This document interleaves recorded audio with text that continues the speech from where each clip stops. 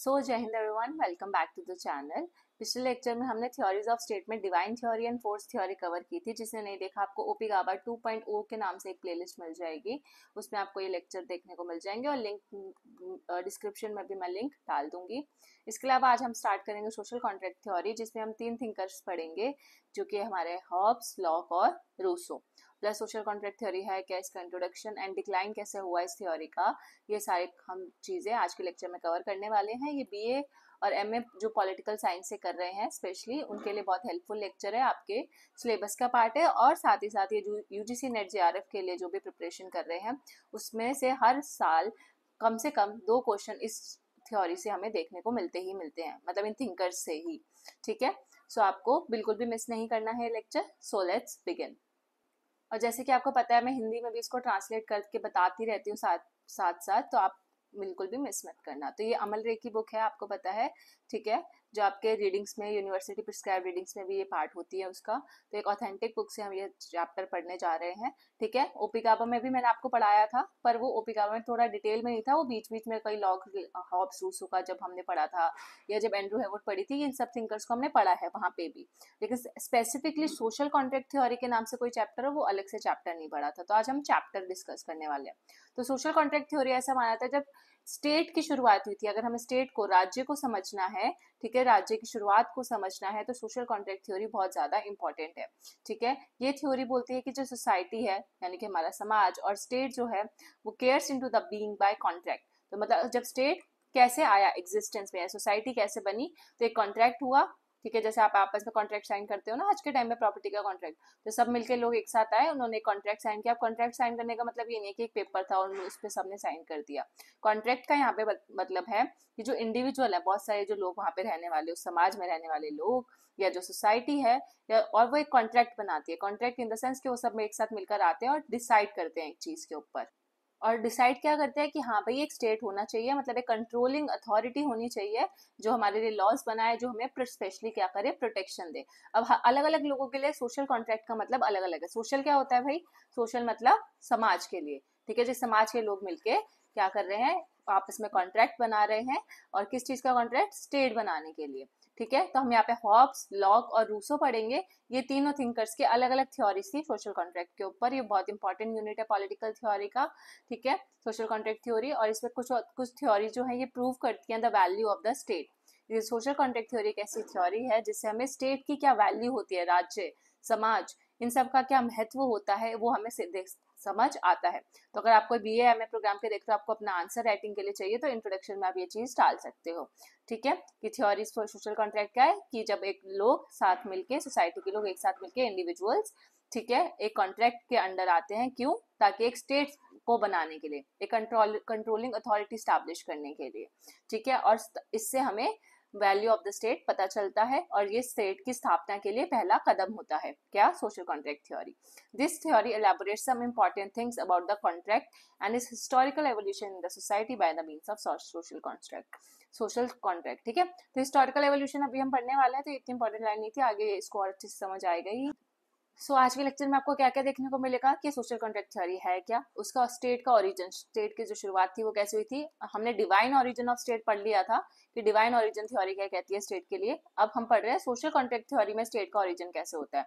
Divine origin में आपको भगवान वगैरह से क्या, जो भी चीज़ें स्पिरिचुअलिटी वाली, वो सब बता दी थी। फिर मैंने फोर्स थ्योरी में बताया था कि स्टेट का शुरुआत जो थी वो फोर्स की वजह से हुई थी। फोर्स एक कारण था। वो कैसे कारण था वो भी मैंने आपको पिछले लेक्चर में समझाया था। फिर आज हम समझ रहे हैं कि सोशल कॉन्ट्रैक्ट थ्योरी क्या मानती है ओरिजिन के अकॉर्डिंग तो इंट्रोडक्शन से स्टार्ट करते हैं कि सोशल कॉन्ट्रैक्ट थ्योरी जो है पॉलिटिकल साइंस फ़ील्ड में सोशल कॉन्ट्रैक्ट थ्योरी हमें बताती है कि जो सोसाइटी है वो कैसे फ़ंक्शन करेगी, कैसे स्टेट का ओरिजिन होगा, कैसे स्टेट का निर्माण होगा या ओरिजिन होगा, शुरुआत होगी.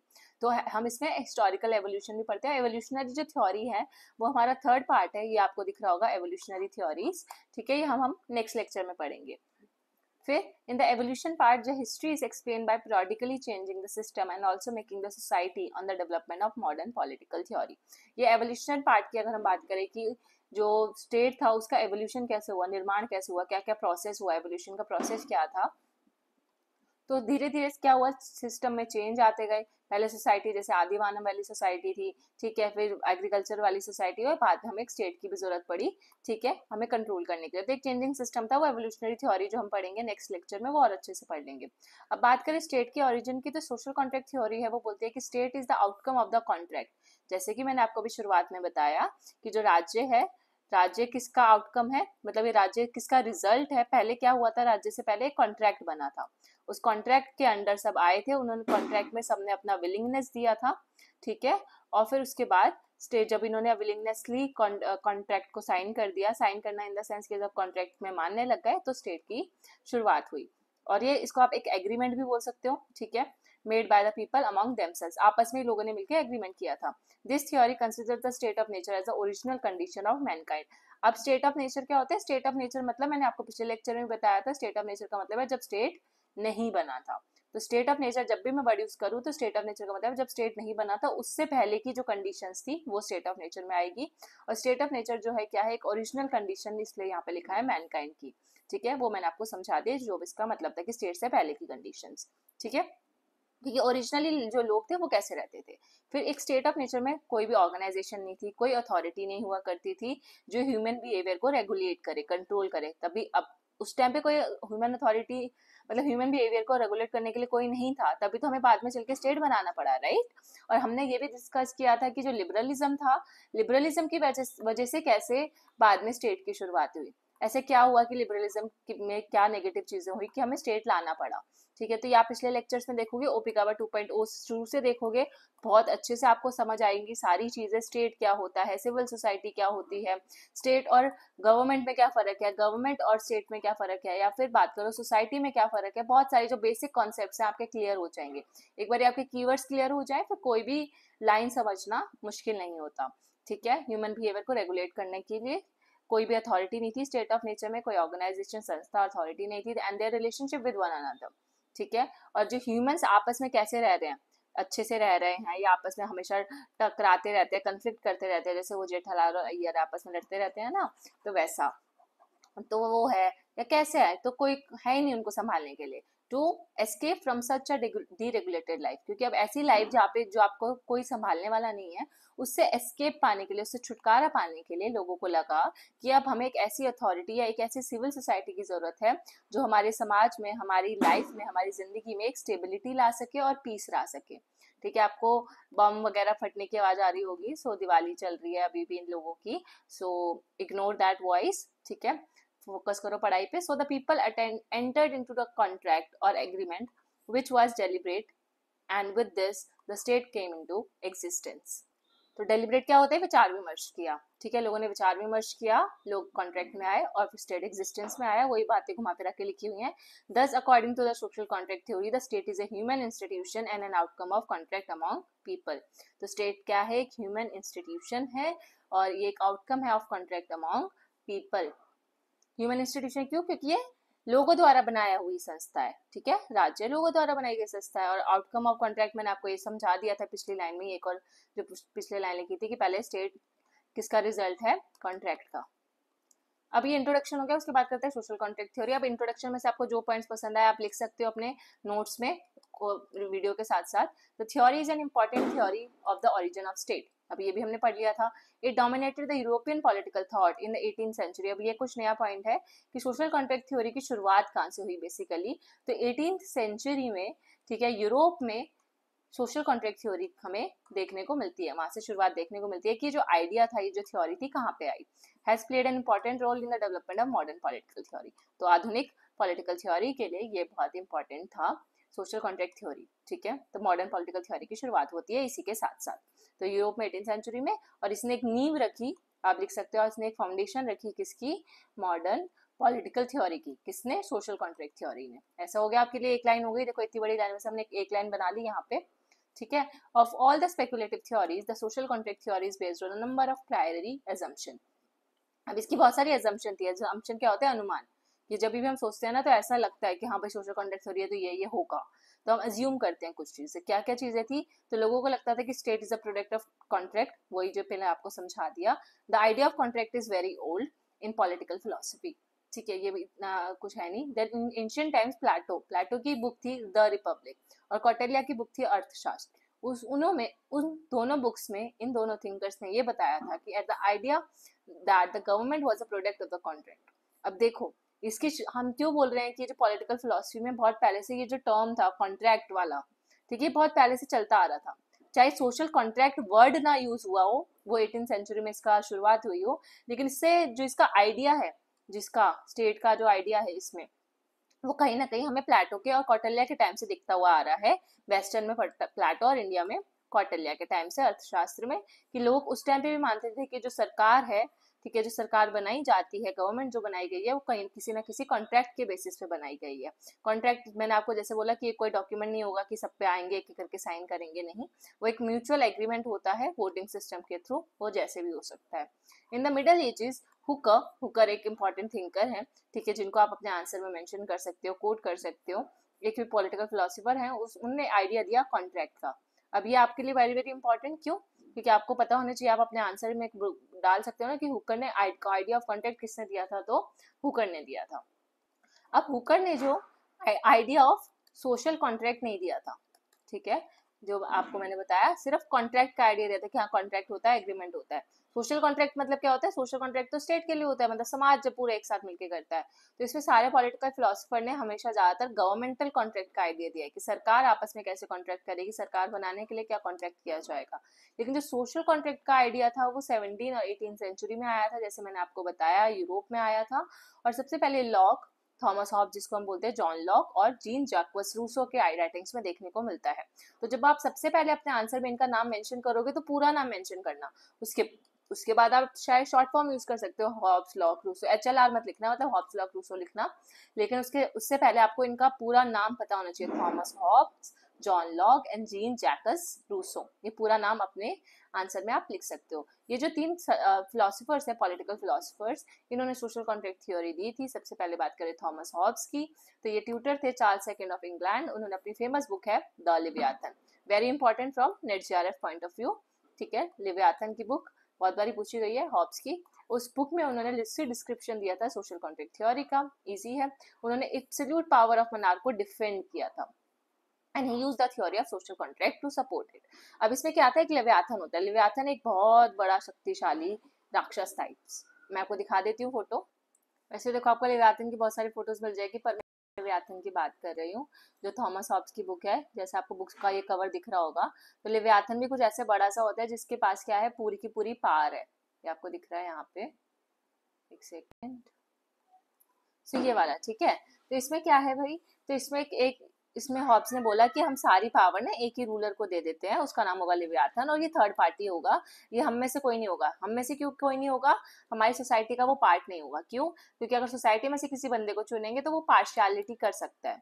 ठीक है? पार्शियल हो सकता है आपस में एक दूसरे से डिस्क्रिमिनेशन कर सकता है नेपोटिज्म भाई भतीजावाद कर सकता है।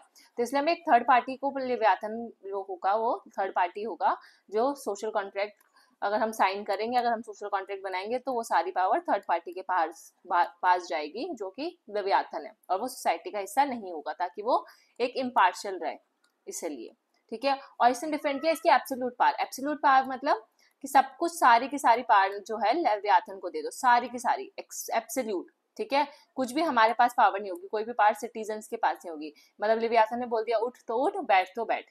अगर ऐसे उसको मारना है तो मरेगा, नहीं मारना तो नहीं मरेगा। ठीक है? मतलब इसको सजा देनी है इन द सेंस कि फांसी देनी है ऑल तो ये होती है एब्सोल्यूट पावर कि सारी पावर इसके पास है और इसने इसको डिफेंड किया था हॉब्स ने कि ऐसा ही होना चाहिए। अब ये इसका क्या कॉन्टेक्स्ट है अभी समझते हैं थोड़ी देर में कि मतलब ऐसा क्या हुआ कि हॉब्स ने ऐसा इतना कठोर डिसीज़न लिया था।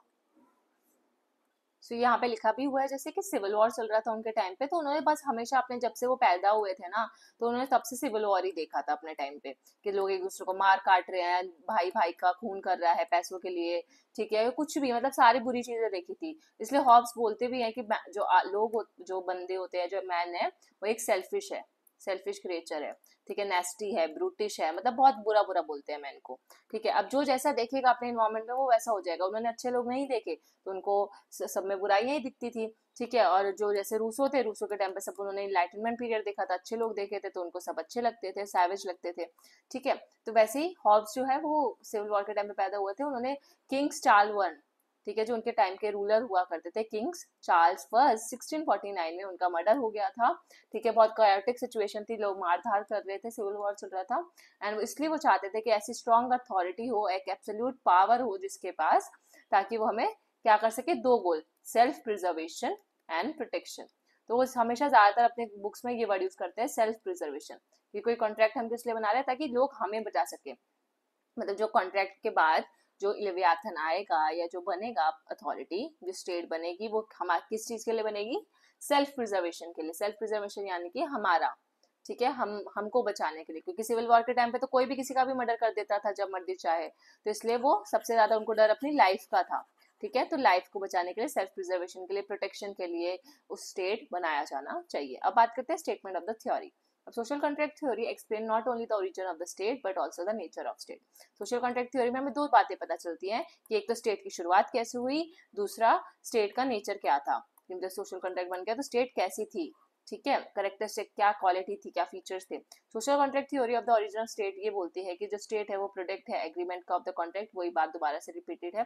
State come into existence as result of voluntary agreement अब ये वर्ड आपने यूज़ नहीं किया था, ये वर्ड आप अच्छे से लिख लेना।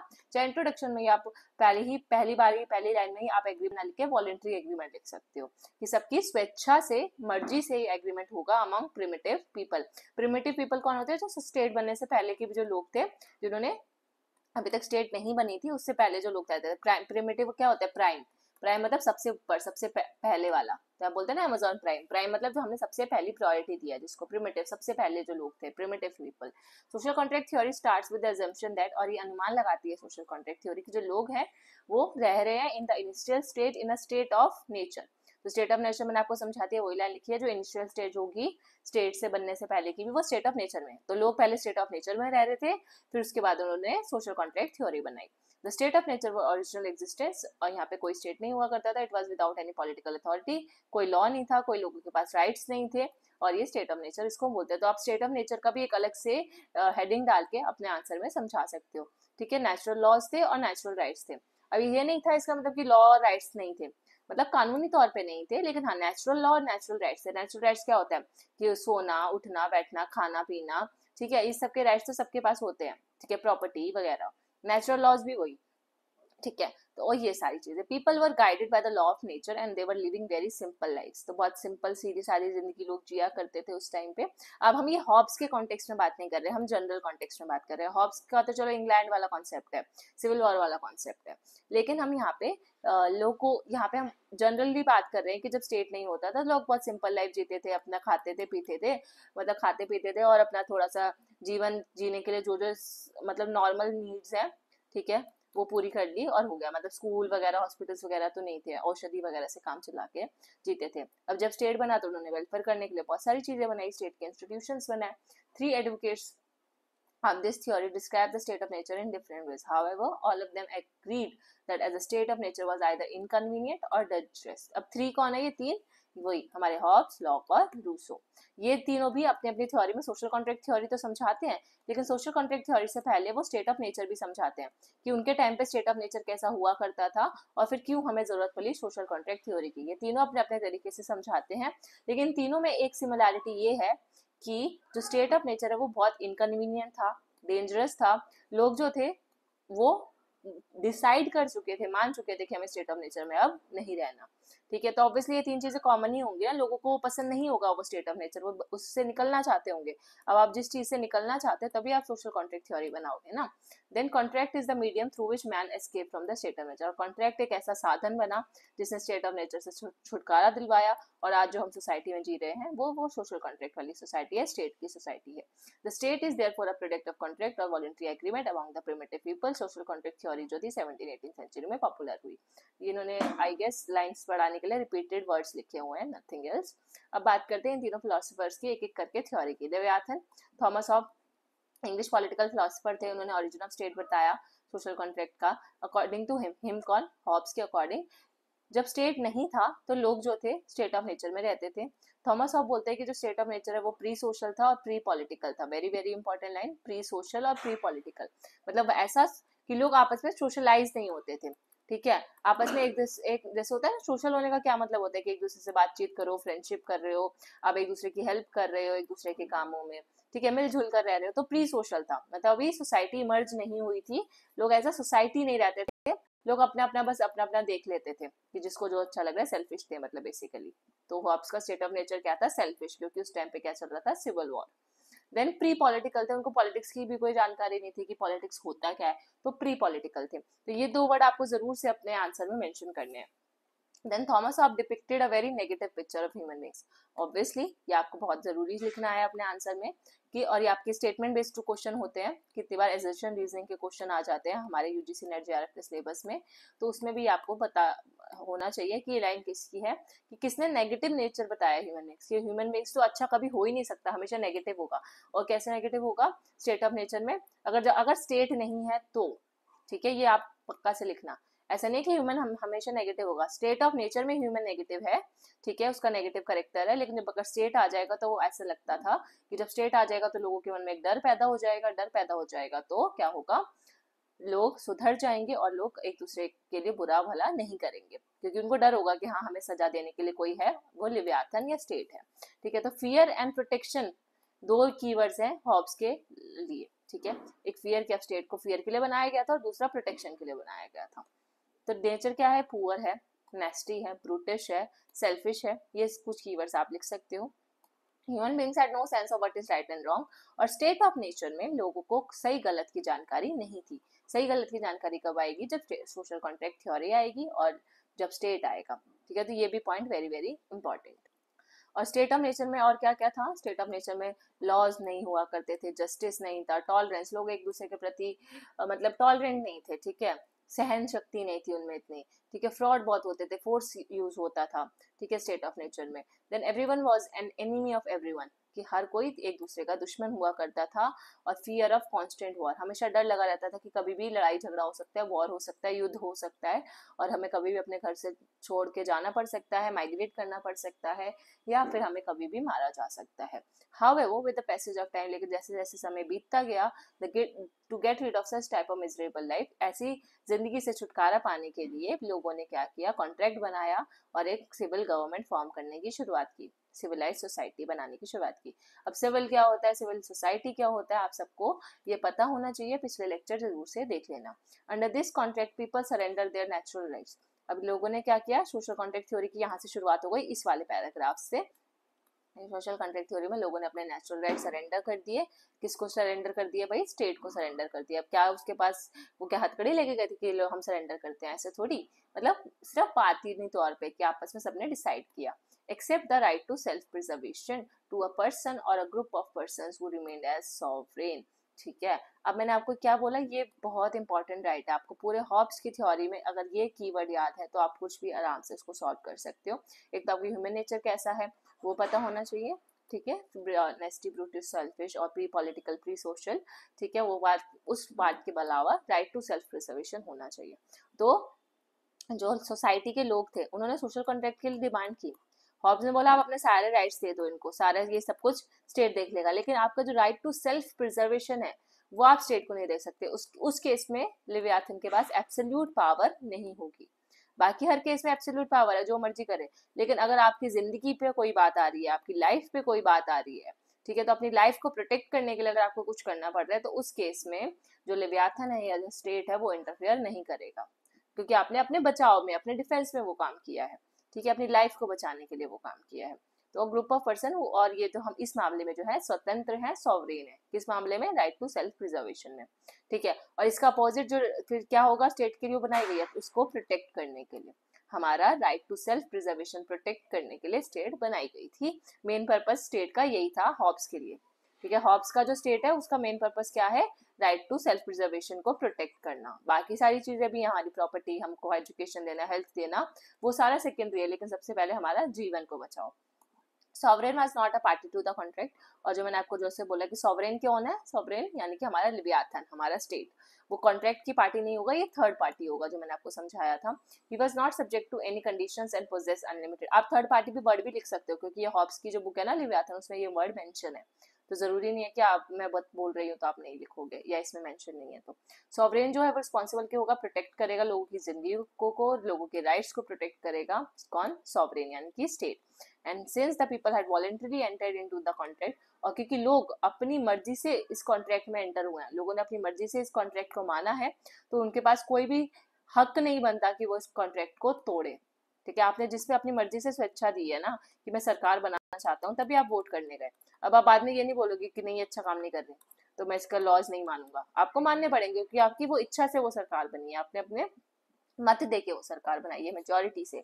लोगों के पास कोई रिवॉल्ट करने का राइट नहीं है। Very very important against the sovereign तो सॉवरेन के अगेंस्ट आप रिवॉल्ट नहीं कर सकते। Sovereign was the only source of law and his commands were considered as laws जब भी मैं सॉवरेन बोल रही हूँ तो मतलब लिव्याथन की बात हो रही है। जैसे हमारे यहाँ पे कॉन्स्टिट्यूशन है ना सोर्स ऑफ़ लॉ या हमें जो हमारे कानून है, हमें कॉन्स्टिट्यूशन से पता चलता है। वहाँ पे जो कानून बनाने वाला जो है, वो खुद ही सॉवरेन है, खुद ही वो कानून बनाएगा, वही सोर्स ऑफ़ लॉ है, ठीक है? And his commands were consider as laws और जो भी सॉवरेन ने बोल दिया, ठीक है? उसका वही क्या है मतलब उसको बोलते हैं ना, हमारा हुक्म भी हमारा शासन है टाइप्स तो जो उन्होंने हुक्म दे दिया, वही उनका शासन होगा, और वही वही उनके लॉज को मानना पड़ेगा उन लोगों को कि मतलब उन्होंने बोल दिया कि ये कम, ये है तो ये लॉ है। अगर उन्होंने बोला कि ये नहीं, ये लॉ नहीं है तो ये लॉ नहीं है, ऐसा। हॉब्स के according power and authority of the sovereign under this social contract was absolute अब ये वेरी वेरी इंपॉर्टेंट कीवर्ड्स है। तो पावर कौन सी है? जो सॉवरेन के पास जो पावर एब्सोल्यूट है इन एलिनेबल इन एलिनेबल मतलब कि वो ये पावर को किसी और के साथ साझा नहीं कर सकता इनडिविजिबल मतलब वो पावर डिवाइड नहीं हो सकती सेपरेशन ऑफ़ पावर का या फेडरलिज्म का कोई कॉन्सेप्ट नहीं है और अनलिमिटेड है, सोचो।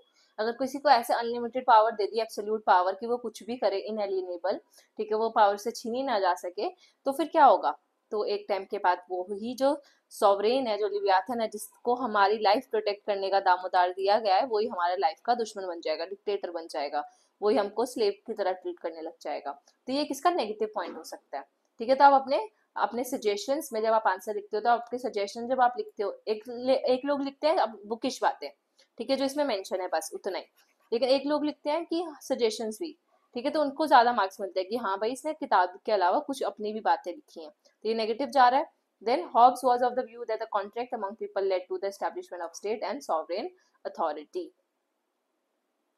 तो बस सिंपल सी बात लिखिए कि कॉन्ट्रैक्ट बना स्टेट की शुरुआत हुई स्टेट स्टैब्लिश हुआ, एक सॉवरेन अथॉरिटी आई, स्वतंत्र मतलब एक तरीके से अथॉरिटी की स्थापना हुई। अब बात करते हैं जॉन लॉक की। भाई तो जॉन लॉक इंग्लैंड के ही एक थिंकर है। उन्होंने लिमिटेड मोनार्की का जो कोर्स था, उसको सपोर्ट किया था कि मोनार्की हो, एक तंत्र हो, ठीक है? एक ही शासन करने वाला एक ही व्यक्ति हो, लेकिन उसकी जो पावर है वो लिमिटेड हो। हॉब्स बोलता था एब्सोल्यूट पावर हो। ठीक है लास्ट में अगर टाइम मिला तो हम एक कंपैरेटिव टेबल भी कर लेंगे, जिसमें आपको मैं हॉब्स लॉक रूसो का एक ही जगह समझा दूँगी सारा, ठीक है? कंपेयर कर लेंगे। तो आपका कंपैरेटिव भी हो जाएगा एक तरीके से। ग्लोरियस रेवोल्यूशन के टाइम पे आए थे 1688 में very very important UGC NET JRF के लिए पॉइंट वेरी इंपॉर्टेंट है फैक्ट्स के लिए। याद रख लेना glorious revolution then theory of John is found in his two treatise on civil government अब two treatise on civil government John Locke की एक बुक है वेरी वेरी इंपॉर्टेंट बुक ये भी आपको याद रखनी है फैक्चुअल बुक है। प्लस आपको अगर आप बी एम ए में हो ठीक है तो तब भी आपको अपने आंसर में बुक्स का नाम और थिंकर का नाम इंक्लूड करना है। उनके टाइम पे ग्लोरियस रेवोल्यूशन था, वो किसको सपोर्ट करते थे? तो वो लिमिटेड मनार्की को सपोर्ट करते थे। कहाँ सपोर्ट करते थे? तो इंग्लैंड में। ग्लोरियस रेवोल्यूशन के टाइम के थिंकर है, इनकी बुक सब कुछ आपको अपने आंसर में लिखना है। प्लस आपको नेट जे के लिए भी हेल्पफुल है, क्योंकि आपको उसका क्लियरिटी हो रहा है कॉन्सेप्ट का। कॉन्सेप्ट और फैक्ट्स यहाँ से आपको फैक्ट्स वाले जो क्वेश्चन आते हैं, वो सॉल्व हो जाएँगे। 69 में where he upheld the ultimate right of the people to dethrone the monarch from his authority. ठीक है? तो जहाँ पे वो क्या करते हैं? जॉन लॉक वो अल्टीमेट राइट right है लोगों के पास लोगों के पास ये मतलब आ, जो बोलते हैं ना सबसे उच्च उच्च स्तर का अधिकार है to dethrone the monarch from his authority कि अगर वो चाहे तो जो मोनार्क है ठीक है उसको वो राजा जो भी होगा वहाँ का उसको वो डी थ्रोन डी थ्रोन मतलब अपनी गद्दी से, उसके सत्ता से निकाल सकते हैं। तो हमारे यहाँ पे जैसे डेमोक्रेसी है तो कहीं ना कहीं यहाँ पे हमें थोड़ा सा डेमोक्रेसी का वो देखने को मिल रहा है कि अगर हम चाहें तो सरकार बदल सकते हैं, अगर वो मोनार्क अच्छा काम नहीं कर रहा तो उसको निकाल सकते हैं। वेर एज हॉब्स के केस में ऐसा नहीं था। हॉब्स के केस में तो लिव्याथन जो है, वही वही है लॉ बनाएगा, वही रूल करेगा, वही कमांड उसकी मानो, और उसके खिलाफ आप रिवॉल्ट भी नहीं कर सकते हॉब्स तो बोलते थे। ठीक है रिवोल्ट आप तभी कर सकते हो जब वो सेल्फ प्रिजर्वेशन पे बात आ जाए, बस तभी। नहीं तो कभी नहीं कर सकते। लॉक जॉन लॉक जो है, वो बात करते हैं लिमिटेड गवर्नमेंट कम से कम गवर्नमेंट और लिमिटेड गवर्नमेंट से आपको आइडिया याद आया? लिबरलिज्म का। इसलिए father of liberalism John Locke को भी बोला जाता है। He had sympathy for the constitutional monarchy और मोनार्की किसकी होनी चाहिए भाई? मोनार्की उसकी नहीं होनी चाहिए, जो सरकार में। मोनार्की होनी चाहिए हमारे कॉन्स्टिट्यूशन की। हमारा कॉन्स्टिट्यूशन सुप्रीम होना चाहिए, ऐसा जॉन लुक बोलते थे। और उन्होंने theory the of the absolute monarchy upheld by Filmer and Hobbes जो हॉब्स और फिल्मर ने जो एब्सोल्यूट मोनार्की का कॉन्सेप्ट दिया था, उसको जॉन लॉक ने रिजेक्ट कर दिया। अब ये जो फिल्मर और हॉब्स की जो थ्योरी हॉब्स की थ्योरी तो मैंने अभी अभी बताई। फिल्मर की थ्योरी में ऑलरेडी ओपी गावा वाली जो सीरीज़ थी प्लेलिस्ट जो 1.0 था, अभी तो हम ओपी गावा 2.2 कर रहे हैं। 1.0 में जो फ़र्स्ट सबसे पहले बनाई थी, उसमें मैंने आपको समझाया था। ठीक है? He was said to be an apologist of the glorious revolution of 1688. तो ये भी इंपॉर्टेंट लाइन है। कि जॉन लॉक को ग्लोरियस रेवोल्यूशन का एपोलॉजिस्ट बोला जाता था। अच्छा अब अपोलॉज, एपोलॉजिस्ट क्या होता है? सॉरी मैं इसको रब कर दिया। तो यहाँ पे ये है कि एपोलॉजिस्ट मतलब कोई ऐसी चीज़ जिसको सब क्रिटिसाइज कर रहे हैं, जो जिसके सब खिलाफ है। लेकिन आप इकलौते हो, जो उसको सपोर्ट कर रहे हो। ठीक है? बाकी सब उसको ताने मार रहे हैं, सबको गलत लग रहा है वो व्यक्ति या वो कोई आइडिया भी हो सकता है, कोई थ्योरी भी हो सकती है।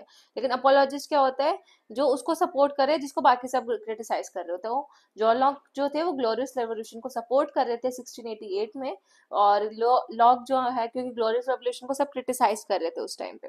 ठीक है, लेकिन जॉन लॉक आते हैं अपने डिफरेंट परस्पेक्टिव के साथ different description of state of nature देते हैं और अपना डिफरेंट सोशल कॉन्ट्रैक्ट की थ्योरी देते हैं। अब बात करते हैं इनके स्टेट ऑफ़ नेचर की। तो आप अपने साथ साथ जो मैंने अभी जैसे हॉब्स का स्टेट ऑफ़ नेचर बताया। अब आप उसको दिमाग में रख लो। अब इसको लॉक से कंपेयर करके देखो कि लॉक का स्टेट ऑफ़ नेचर हॉब्स वाले से कैसे अलग है। ठीक है? यहाँ पे देखो क्या लिखा है? स्टेट ऑफ़ नेचर जो था स्टेज ऑफ़ वॉर नहीं था। स्टेज ऑफ़ वॉर किसका था? हॉब्स का था। ठीक है? जब लड़ाइयाँ वगैरह हो रही थी।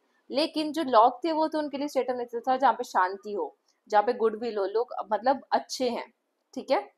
गुडविल से काम करते हैं। तो लॉक का जो था वो पॉजिटिव था human nature state of nature positive था और जॉन लॉक का सॉरी हॉब्स का नेगेटिव था और जॉन लॉक का पॉजिटिव था। लॉक्स का जो स्टेट ऑफ़ नेचर है was only pre political and not pre social very important point next जो सेकेंड पॉइंट था, जैसे हॉब्स में क्या था? हॉब्स का प्री पॉलिटिकल भी था प्री सोशल भी था, जिसका मतलब मैं आपको ऑलरेडी समझा लेकिन जो लॉक थे, उनका जो स्टेट ऑफ़ नेचर था, वो प्री पॉलिटिकल ज़रूर था। कि लोगों को पॉलिटिक्स की इतनी समझ नहीं थी, राजनीति की समझ नहीं थी, तभी प्री पॉलिटिकल था, इसलिए उनको स्टेट बनाना पड़ा। लेकिन वो प्री सोशल नहीं था। प्री सोशल क्या?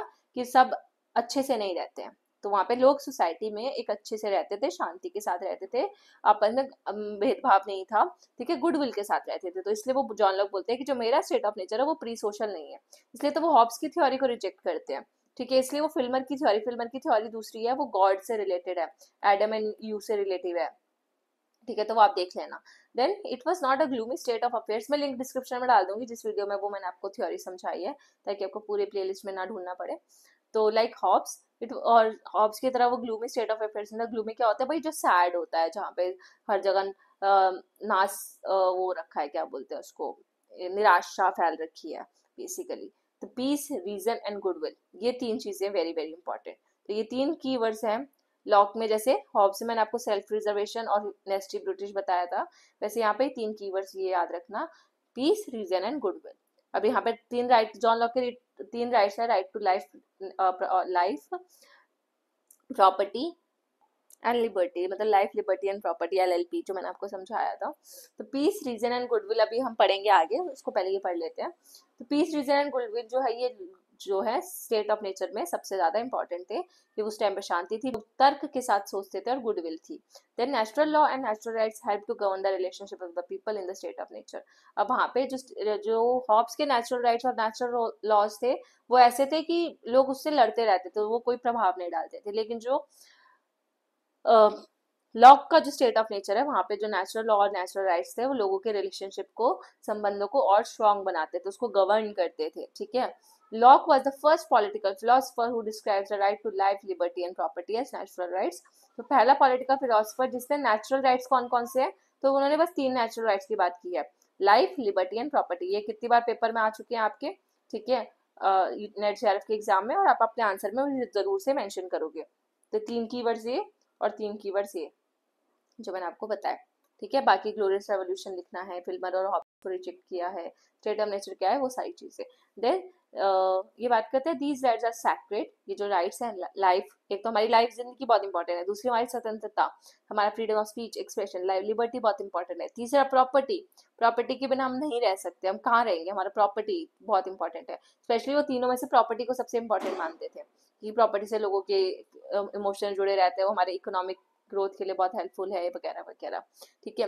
तो राइट्स जो है, बहुत सैक्रेट थे ये तीनों राइट्स और इसको जो स्टेट है, वो कभी भी, चाहे वो मॉडर्न स्टेट जो है, आधुनिक राज्य, वो इसको कभी भी लोगों से या सिटीजन से, नागरिकों से नहीं छीन सकता। किस, क्या नहीं छीन सकता? ये तीन राइट्स ठीक है? स्टेट कुछ भी छीन सकता है, पर ये तीन राइट्स नहीं छीन सकता। जैसे हॉब्स बोलता था ना कि स्टेट कुछ भी कर सकता है, बस हमारा जो राइट टू सेल्फ प्रिजर्वेशन है, वो नहीं छीन सकता।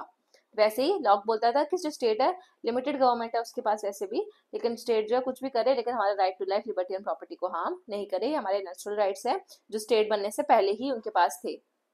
हाँ बस इसको प्रोटेक्ट करने के लिए अगर वो कोई लॉज बनाना चाहता है तो स्टेट बनाएगा। हमारी लाइफ लिबर्टी और प्रॉपर्टी को प्रोटेक्ट करने के लिए स्टेट लॉज बनाएगा। तो मेन पर्पज स्टेट का यहाँ पे क्या था? जैसे हॉब्स का स्टेट बनाने के पीछे मेन पर्पज क्या था? सेल्फ प्रिजर्वेशन प्रोटेक्शन ठीक है? लोगों को प्रोटेक्शन प्रोवाइड करना। तो ये मेन पर्पज था हॉब्स का स्टेट के पीछे। वैसे और भी पर्पज थे, वो सेकेंडरी थे तो प्रायोरिटी उसने प्रोटेक्शन को दी सेल्फ प्रिजर्वेशन को दी हॉब्स ने। वैसे ही जॉन लॉक ने जो प्रायोरिटी स्टेट स्टेट को बनाने के पीछे का मेन मकसद क्या था? इन तीनों राइट्स को प्रोटेक्ट करना। तो अगर हम जॉन लॉक को कंक्लूड करें तो स्टेट ऑफ़ नेचर पीस था गुडविल था म्यूचुअल असिस्टेंट म्यूचुअल मतलब लोग दोनों आपसी सहमति से क्या कर रहे हैं, लोगों की मदद कर रहे हैं हेल्प कर रहे हैं, और preservation it was a state of liberty and not of license ये बहुत वेरी वेरी इंपॉर्टेंट कोड ये आप अपने कोड अपने इसमें मेंशन करोगे ना कि अकॉर्डिंग टू लॉक और फिर इसको डबल कोर्स में अगर आप ये लिखते हो तो आपको ज़्यादा मार्क्स मिलेंगे कि स्टेट ऑफ़ लिबर्टी था। ठीक है, जो स्टेट ऑफ़ नेचर है, वो स्टेट ऑफ़ लिबर्टी था, कोई लाइसेंस नहीं था। लाइसेंस क्या होता है? लाइसेंस तो मतलब होता है कि आपको लाइसेंस मिल चुका है कुछ भी करने का, चाहे फिर वो आप गलती कर रहे हो। ठीक है, और लिबर्टी होती है लिबर्टी आप सोच समझ के इसको पॉजिटिव सेंस में जॉन लॉक ने बोला है। तो इसका ये मतलब है इस लिबर्टी आपके लिए एक ऐसा होना चाहिए कि आप उसका सोच समझ के इस्तेमाल करो, अपने हित के लिए और अपने हित के लिए इस्तेमाल करो, लेकिन दूसरे उसका जो नुकसान है, दूसरों को ना झेलना पड़े। लाइसेंस क्या होता है कि भाई आपके पास लाइसेंस है, आप कुछ भी कर सकते हो तो वो लाइसेंस नहीं है हमारी liberty because of certain inconvenience लेकिन ऑब्वियसली स्टेट ऑफ़ नेचर में कुछ लोगों को असुविधाएँ हो रही थी, ठीक है लेजिस्लेचर नहीं था जो कानून बना सके एग्जीक्यूटिव नहीं था जो कानून को स्थापित कर सके, ठीक है इम्प्लीमेंट कर सके और जुडिशरी भी नहीं थी जो उस कानून को इंटरप्रेट कर सके, ठीक है, और जो जो भी अगर लॉज कोई तोड़ रहा है तो उसको पनिश करने के लिए भी जुडिशरी नहीं थी। तो बेसिकली आपका तीसरा मुद्दा, जो तीसरा पॉइंट हो गया, इसके अलावा एक तो मैंने आपको तीन नेचुरल राइट्स बताए एलएलपी वाले, ठीक है, दूसरा मैंने आपको बताया पीस गुडविल ठीक है, और प्रिजर्वेशन वाली चीज़। और हमने ने peace reason and goodwill reason भी लिखा था ऊपर। देन यहाँ पे तीसरी चीज़ जो आपको याद रखनी है जॉन लॉक के में, कि क्यों स्टेट की ज़रूरत पड़ी? L E J legislature executive और जुडिशरी नहीं थी, इसलिए इन तीनों को भी लाना बहुत ज़रूरी था। और they form the civil society through contract और उन्होंने बोला कि अगर हम सोशल कॉन्ट्रैक्ट का पार्ट बनेंगे तो सोशल कॉन्ट्रैक्ट की वजह से एक सिविल सोसाइटी का निर्माण होगा। सिविल सोसाइटी क्या होती है? पिछले लेक्चर में आपको समझाया था बहुत अच्छे से। सिविल सोसाइटी का निर्माण होगा तो only surrender some of the rights to the state और हम अपने कुछ ही, कुछ राइट्स ही स्टेट्स को देंगे। जैसे हॉब्स तो बोलता था कि अपने सारे राइट्स सरेंडर कर दो सेल्फ प्रिजर्वेशन को छोड़ के, सारे राइट्स लिव्याथन को सॉवरेन को सरेंडर कर दो। लेकिन जॉन लोग बोलता था कि हमें सारे राइट्स देने की ज़रूरत नहीं है, हम अपने कुछ कुछ राइट्स दे देते हैं और बाकी अपने पास रख लेते हैं। ठीक है the natural rights were well kept by the people और नेचुरल राइट्स जो मैंने आपको तीन बताए L L P life liberty and property वो लोगों ने अपने पास रखे और बाकी राइट्स जो थे स्टेट को दे दिए। एंड नो स्टेट और government can take them away from the people वही मैंने आपको बताया था। Locke made a government a party to the contract और जैसे जो लेव्याथन था, वो थर्ड पार्टी था, लेकिन यहाँ पे जो जॉन लॉक थे, उन्होंने गवर्नमेंट को, सरकार को कॉन्ट्रैक्ट का पार्टी बनाया। मतलब जो लिव्याथन था ना हॉब्स का लिव्याथन वो कॉन्ट्रैक्ट का पार्ट ही नहीं था। लेकिन एटलीस्ट जो लॉक का जो स्टेट था, जो सॉवरेन था, वो उस कॉन्ट्रैक्ट का पार्ट था। मतलब वो भी उस कॉन्ट्रैक्ट का पार्ट था, वो भी उसको अपनी विल अपनी सहमति देगा। ठीक है? वो भी उसमें वोट करेगा। लेकिन जो लिव्याथन होगा, वो तो हॉब्स का था लिवियाथन उसका कॉन्ट्रैक्ट का भी पार्ट नहीं था, उसका कॉन्ट्रैक्ट में कोई लेना देना ही नहीं था और वो बाहर का बंदा हुआ करता था। तो ये भी आपको फोर्थ पॉइंट पता चला डिफरेंस का लॉक और हॉब्स में। Government is bound by the terms and condition और कुछ कॉन्ट्रैक्ट में कॉन्ट्रैक्ट यहाँ पे एक तरीके से लो कॉन्स्टिट्यूशन ठीक है रिटर्न कॉन्स्टिट्यूशन की जहाँ पे टर्म्स एंड कंडीशन लिखी हुई हैं और वो सरकार को माननी पड़ेगी। लॉक एडवोकेट्स लिमिटेड गवर्नमेंट आज के टाइम पे हम कॉन्स्टिट्यूशन बोलते हैं, उस टाइम पे कॉन्ट्रैक्ट वर्ड यूज़ हुआ है। Locke advocates Locke John Locke ने इसकी बात की लिमिटेड गवर्नमेंट की और कॉन्स्टिट्यूशनल मोनार्की की। वही कॉन्स्टिट्यूशन सुप्रीम होना चाहिए और सरकार के पास लिमिटेड पावर्स हो तो बेहतर है। अब बात करते हैं Rousseau Jean Jacques Rousseau great French philosopher of the eighteen century और उनकी famous book the social contract इनकी तो बुक का नाम ही सोशल कॉन्ट्रैक्ट है तो ये ज़्यादा मुश्किल भी नहीं है याद रखना। बस लॉक और हॉब्स की बुक का नाम याद रखना। सेवनटीन सिक्सटी टू में इनकी बुक आई थी। अच्छा हॉब्स की बुक का नाम क्या था? लिव्याथन और बात करिए जॉन लॉक जॉन लॉक की बुक का नाम क्या था? Two treatise of government or Rousseau की बुक का नाम क्या है? सोशल कॉन्ट्रैक्ट ठीक है? और सेवनटीन सिक्सटी टू ना, इसका सिक्सटीन एटी नाइन था आई गेस तो अगर डेट भी याद रह जाए तो बढ़िया है। Rousseau unlike Hobbes and Locke was not the product of any revolution जैसे हॉब्स के टाइम पे सिविल वॉर चल रहा था लॉक के टाइम पे ग्लोरियस रेवोल्यूशन था लेकिन रूसो के टाइम पे ऐसा कोई रेवोल्यूशन नहीं चल रहा था। ठीक है? His aim was to find a form of association which will defend and protect with the whole common force, the person and the goods of each associate, and with, in which each, while uniting himself with all, may still obey himself alone and remain free as before. ये बहुत technical definition है। देखो यहाँ से शुरू हो रही है और यहाँ पे खत्म हो गया पाँच लाइन की एक इसने डेफिनेशन दी है मैं आपको शॉर्ट में सिंपल भाषा में समझा देती हूँ क्या लिखा है। बेसिकली यहाँ पे बात हो रही है पॉपुलर सॉवरेनिटी की। पॉपुलर सॉवरेनिटी क्या? कि अब जैसे हॉब्स का क्या था? सॉवरेन एक बंदा होगा। लॉक का भी सॉवरेन एक ही था, बस इन दोनों में क्या फ़र्क था? इसके बाद एब्सोल्यूट थी एक के बाद लिमिटेड गवर्नमेंट थी। लेकिन जो रूसो का जो सॉवरेनिटी है ना, कि सॉवरेन कौन होगा? स्वतंत्र सॉवरेन यहाँ पे स्टेट ठीक है?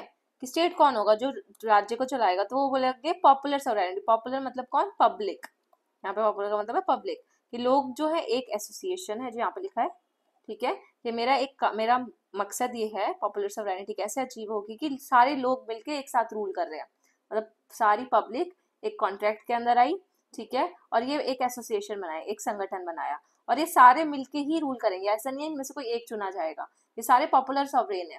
ठीक है, सब सब एक साथ मिलकर डिसीज़न लेंगे, अगर कोई भी डिसीज़न लेना होगा तो ये बात इसमें लिखी हुई है कि वो एक एक दूसरे का जो एसोसिएशन बनाएँगे, एक दूसरे के हितों के बारे में सोचेंगे, वो कॉमन फोर्स होगा कॉमन एसोसिएशन होगी जिसमें सारे बैठे हैं और अपने लिए सारे डिसीज़न लेते हैं हर बार, ठीक है, और वो एक साथ यूनाइटेड होंगे, ये जो, इसलिए तो इसको पॉपुलर सॉवरेनिटी बोला है, कि है तो सब सॉवरेन लेकिन वो पब्लिक है पॉपुलर है, सारे हैं एक साथ। ठीक है, और अपने एक दूसरे को ओबे करेंगे, अपने आप को ओबे करेंगे। और पहले की तरह, जैसे वो स्टेट ऑफ़ नेचर में फ्री रहते थे, वैसे अब भी वो फ्री रहेंगे इवन सोशल कॉन्ट्रैक्ट में आने के बावजूद। ठीक है? लेकिन डिसीज़न सब साथ में मिलकर लेंगे, एक एसोसिएशन बन जाएगा बस। उसके लिए स्टेट एक एसोसिएशन था। तो इन्होंने बात करी कि नेचर ऑफ़ सिविल सोसाइटी को एक्सप्लेन किया इसके माध्यम से, और पॉपुलर सॉवरेनिटी का कॉन्सेप्ट दिया। तो उसका आपको याद रखना है कि एक एब्सोल्यूट सॉवरेनिटी थी एक लिमिटेड सॉवरेनिटी थी, आप ऐसे लिख लो, और जो रूसो की थी वो कौन सी थी? पॉपुलर सॉवरेनिटी थी। तो देखो मैं आपको साथ साथ कंपैरिजन भी कराती जा रही हूँ। देन वो इंडिविजुअल सिंप्लिसिटी को बहुत एडमायर करता था। मतलब सुखी जीवन, सादा जीवन, सुखी जीवन जिसको बोलते हैं ना। हाई क्या बोलते हैं उसको? हाई थिंकिंग ऐसा सिंपल लिविंग हाई थिंकिंग ऐसे करके एक कोट है ना, सुखी जीवन, सादा जीवन। तो ये वैसा रूसो उस पर मानते थे कि आप बाकी जैसे हॉब्स और वगैरह तो हम बोलते थे कि स्टेट ऑफ़ नेचर बहुत सिंपल था, कम ऐसा था, ये था। लेकिन रूसो बोलते कि तो अच्छी बात है कि सिंप्लिसिटी जितनी ज़्यादा वो अच्छी है। स्टेट ऑफ़ नेचर में सिंपल तरीके से लोग रह रहे हैं। एंड वो करप्शन के बहुत खिलाफ थे। ये इंपॉर्टेंट पॉइंट है। तो ये कीवर्ड आप लिख लो। Then degradation of in in civilise the society the नहीं आना चाहिए यहाँ पे सिविलाइज सोसाइटी होना चाहिए। और ऐसी कोई भी चीज़ जो हमारी सिविल सोसाइटी को सिविलाइज सोसाइटी को खराब करे, उसके भी वो खिलाफ थे। तो करप्शन तो था ही करप्शन के अलावा और भी जितनी भी चीज़ें हैं जो सिविल सोसाइटी के अगेंस्ट में जाती हैं, उसको ख़राब करती हैं तो उसके अगेंस्ट थे और इनकी राइटिंग्स आगे चल के फ्रेंच रेवोल्यूशन के लिए एक बहुत बड़ा कारगर साबित हुई। तो ये भी बहुत अच्छा इंपॉर्टेंट पॉइंट आप अपने आंसर में लिखोगे या आपको यूजीसी नेट जियारत में कभी आ जाए कि फ्रेंच रेवोल्यूशन को इंस्पायर इंस्पायर किसने किया? फ्रेंच रेवोल्यूशन जो था, वो किससे इंस्पायर था? जैसे ग्लोरियस रेवोल्यूशन की हम बात करते हैं तो जॉन लॉक याद आते हैं। सिविल वॉर की हॉब्स याद आते हैं। तो अगर आपसे कभी फ्रेंच रेवोल्यूशन आ जाए तो फ्रेंच रेवोल्यूशन रूसों के टाइम पे नहीं हुआ था, लेकिन फ्रेंच रेवोल्यूशन जब बाद में हुआ तो उससे वो कहीं ना कहीं उनका जो प्रेरणा स्रोत थे, वो रूसो थे, उनकी राइटिंग्स थी उन लोगों के लिए। ठीक है? रूसो एक सेलिब्रेटेड फिलोसफर रहे एटीन सेंचुरी के, जिन्होंने सोशल कॉन्ट्रैक्ट की थ्योरी दी, और he seems to have combine the फिर उन्होंने क्या किया था? हॉब्स ने हॉब्स और लोग की जो थ्योरी हमने अभी पढ़ी जॉन लॉक और थॉमस हॉब्स की थ्योरी इन दोनों को कंबाइन करके रूसो ने अपनी थ्योरी दी थी। तो इन दोनों ही थ्योरी से उन्होंने कुछ कुछ चीज़ें ली और एक अपनी थ्योरी दी रूसो ने। As far as the state of nature is concern जहाँ तक स्टेट ऑफ़ नेचर की बात है तो रूसो जो बोलते हैं जो स्टेट ऑफ़ नेचर है रूसो का, वो शुरू होता है हॉब से और खत्म होता है लॉक पे। वो कैसे? तो यहाँ पे समझते देखो, उनके अकॉर्डिंग क्या था? स्टेट ऑफ़ नेचर जो सबसे अच्छा पीरियड हुआ करता था मैनकाइंड का। ठीक है? जहाँ पे जो लोग थे, वो नॉबल सैवेज थे। तो नॉबल सैवेज का क्या मतलब होता है? अब इसका कोई हिंदी ट्रांसलेशन तो ऐसा सच नहीं है। लेकिन नॉबल मतलब होते हैं जो बहुत अच्छे लोग होते हैं, जो सिंपल लाइफ जीना जानते हैं ठीक है, और ज़्यादा उनको मेटेरियलिस्टिक नहीं होते, सीधा साधा जीवन नोबल हो गए, वो महान लोग, ठीक है? और सैवेज कौन होते हैं? सैवेज का यहाँ पे उनके लिए मतलब जो अनसिविलाइज है। मतलब है तो वो अच्छे, लेकिन अभी तक वो सिविलाइज नहीं हुए हैं। सिविलाइज कब होंगे? जब सोशल कॉन्ट्रैक्ट थ्योरी बनेगी। तो अभी तक वो अनसिविलाइज हैं, असभ्य लोग हैं, ठीक है? लेकिन वो हैं अच्छे नॉबल है सिंपल लिविंग में मानते हैं वर्चुअस है, ठीक है? मोरल है। तो वो एक सिंपल हैप्पी और केयर फ्री लाइफ जी रहे हैं, ठीक है? In the beginning stage of nature जैसे कि हॉब्स का भी था। तो इसमें बोला कि हॉब्स से शुरुआत होती है, स्टेट ऑफ़ नेचर की लॉक पे खत्म होती है, ठीक है? बट ग्रेजुअली जो स्टेट ऑफ़ नेचर है, वो क्या होता है? विशियस सर्कल में, या विशियस साइकिल भी बोल सकते हो सर्कल की जगह, उसमें डीजनरेट हो जाता है। कैसे? विशियस साइकिल क्या होती है? कि आप फंसते चले जा रहे हो, जंजाल में, एक जंजाल है, उसमें फंसते चले जा रहे हो। आप उसमें से मतलब एक वो होता है ना, चक्रव्यूह टाइप्स उसमें से निकल नहीं पाओगे। एक बार आप उस साइकिल में फंस गए कोशिश करोगे, फिर घूम फिर के वहीं आ जाओगे। अब ये कैसी विशेष साइकिल है? जब पॉपुलेशन बढ़ गई। ठीक है? प्राइवेट प्रॉपर्टी एग्जिस्ट करती थी। लोग जो थे धीरे धीरे सिविलाइज होने लगे। मेड इंडिविजुअल लाइफ कॉम्प्लिकेटेड और जब सिविलाइज हुए, ठीक है तो लोगों की लाइफ कॉम्प्लिकेटेड हो गई इनसिक्योर फील करने लगे। देखो, यहाँ पे वो सिविलाइजेशन के खिलाफ है। ठीक है बाकी लोग कहते हैं कि सिविल बनो, सिविल सोसाइटी आए। ये बोलते हैं कि सिविलाइजेशन खराब है। अच्छा जीवन, सुखी जीवन, सादा जीवन जी रहे हैं हम। ठीक है, कोई बहर भाव नहीं है लोगों का। आपस में सब अच्छे से रह रहे हैं, कोई लालच नहीं है, कोई पैसों का वो नहीं है कि ऐसा हो लोग भाई भाई का हत्या कर रहा है and all that stuff but वो बोलते हैं कि लोग जब से ये प्राइवेट प्रॉपर्टी का कॉन्सेप्ट आया करप्शन होने लग गया। लोगों में लालच आ गई। कि प्रॉपर्टी के लिए लड़ने लग गए। पॉपुलेशन बढ़ी तो उनकी नीड्स बढ़ गई, ठीक है? और लोगों में सभ्यता सिविलाइजेशन की शुरुआत हुई। है सिविलाइजेशन उन्होंने दूसरी तरीके से इंटरप्रेट किया है, ठीक है? सो कॉल्ड लिखा है यहाँ पे, ठीक है? सो कॉल्ड सभ्य लोग, ठीक है? है सभ्य? नहीं, सभ्य तो वो होता है ना, जो मोरल हो अच्छा हो, ठीक है? सबके बारे में सोचे। अब लेकिन यहाँ पे लोग अपने आप को सिविल तो बोलते हैं कि हम सिविल सोसाइटी की बात है, हम सिविल इंस है बट होते नहीं है। ठीक है इंडिविजुअल लाइफ कॉम्प्लिकेटेड हो गई इनसिक्योर होने लग गए, लोगों में जेलसी की भावना आ गई, चलन की कंपटीशन की भावना आ गई, प्रतिस्पर्धा की भावना आ गई, ठीक है? और ये जो था, ये था last stage of state of nature ठीक है?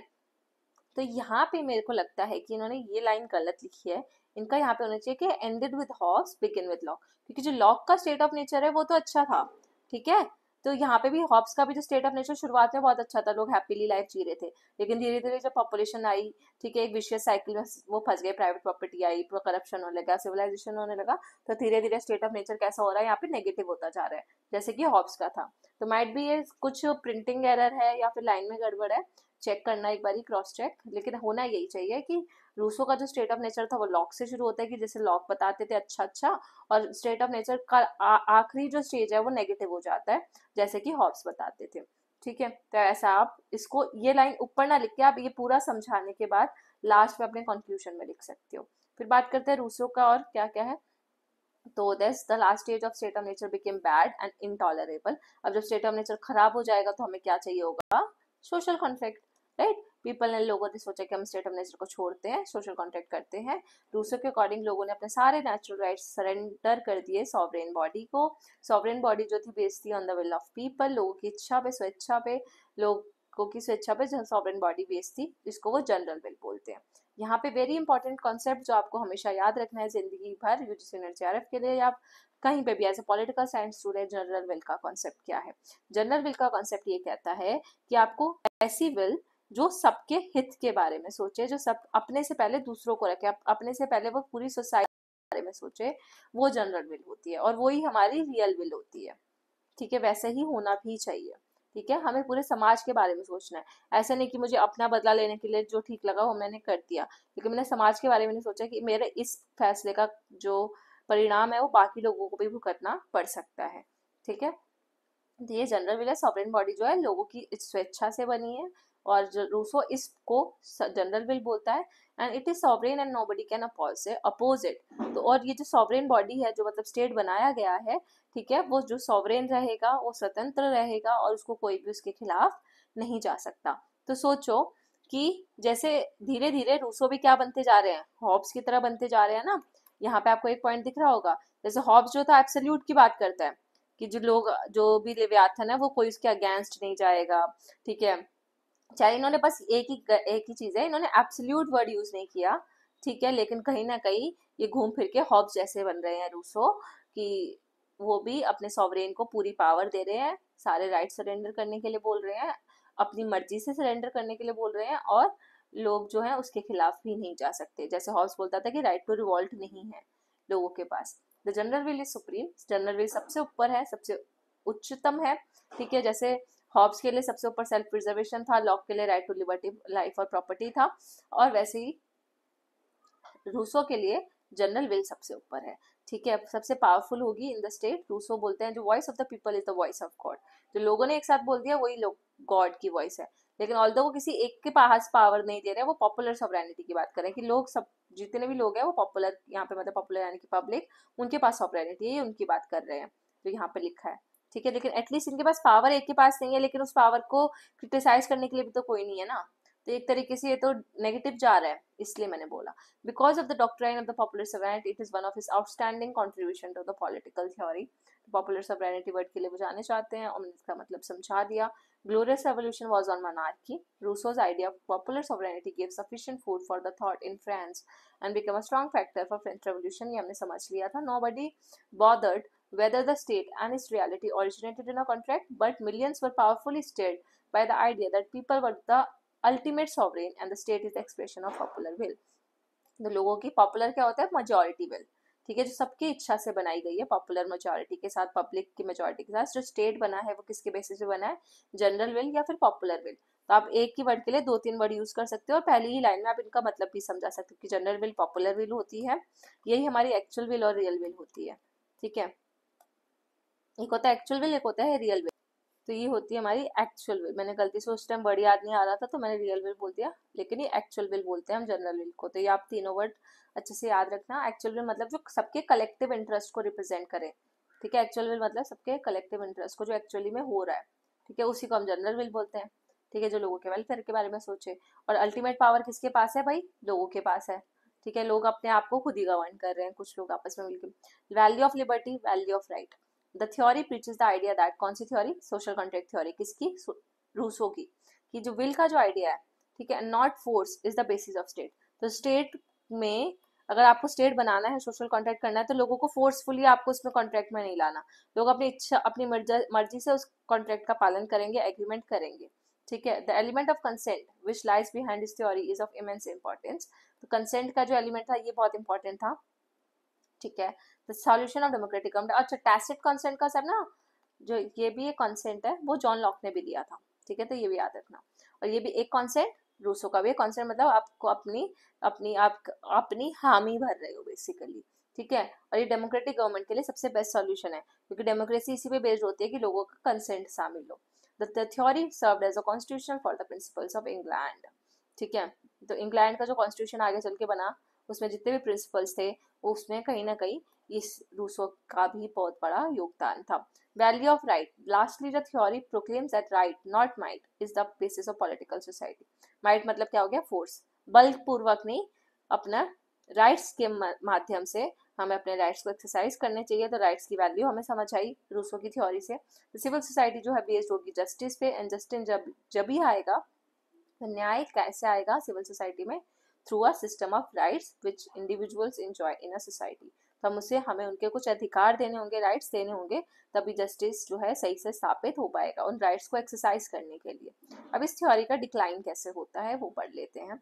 तो आई होप आपको इसका कंपैरेटिव देखने की ज़रूरत नहीं है, फिर भी मैं आपको एक बार एक फ़ोटो दिखा देती हूँ, जिसका आप स्क्रीनशॉट लेके खुद भी पढ़ सकते हो ऑल मैंने सारी बातें समझाती है। लेट मी शेयर या share a pic with you तो आप इसका स्क्रीनशॉट ले सकते हो, ये सबसे पहला जो है हॉब्स है, दूसरा लॉग्स है और तीसरा जो कॉलम है वो रूसो का है।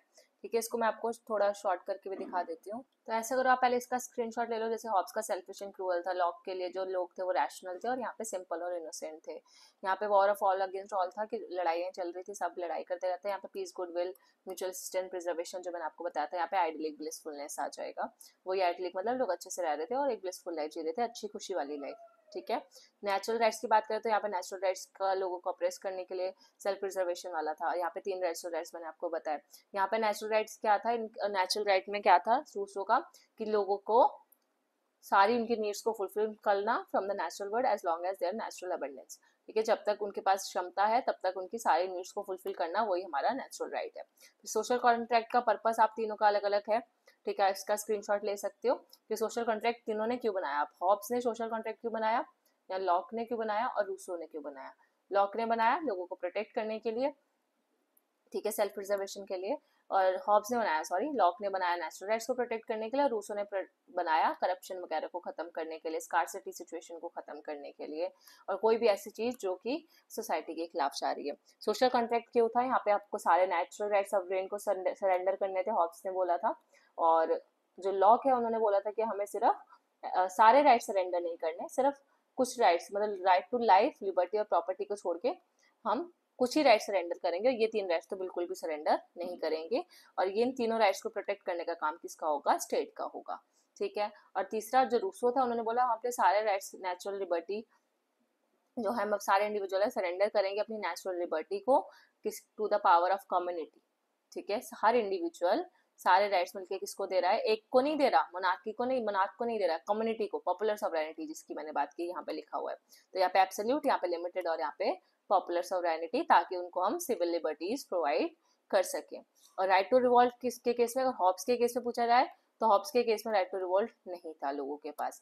लॉक के केस में राइट टू रिवोल्ट था। उन्होंने बोला था कि अगर आपको एलएलपी कोई हार्म कर रहा है तो आप कर सकते हो। रूसो के केस में भी नहीं था, पर लेकिन उसकी थ्योरी में कहीं भी ऐसा मेंशन नहीं है तो हमने यहाँ पे लिख दिया नॉट रिक्वायर्ड ठीक है? तो ये था। आपका स्क्रीनशॉट ले सकते हैं यहाँ से फिर भी। अब बात करते हैं, दोबारा पीडीएफ पे आ जाते हैं। तो ये डिक्लाइन ऑफ़ थ्योरी कैसे हुआ? तो new attitude of writers social contract theory के क्या क्या रीजन थे डिक्लाइन होने के? आपका आखिरी पार्ट होगा आंसर का।